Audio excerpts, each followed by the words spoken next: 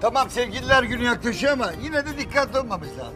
Hadi sevgiline bir hediye aldır. Bu ikinci paket ne? Hocam ilk hediyeyi aldım. Baktım bayağı para puan birikmiş. Onunla da ikinci bir hediye aldım sevdiceğime. Ha o zaman başka. Aferin, aferin.